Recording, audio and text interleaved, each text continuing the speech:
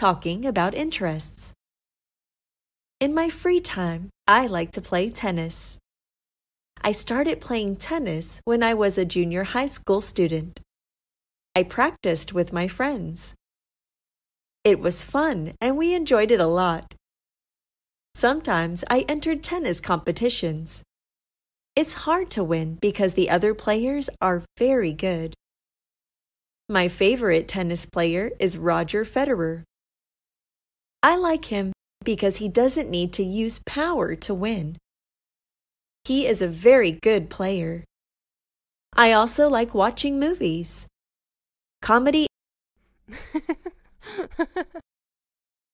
and action movies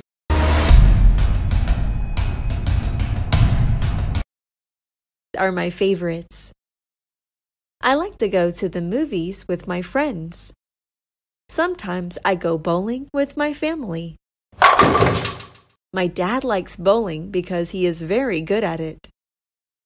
He usually wins, but I think it is still fun to play together.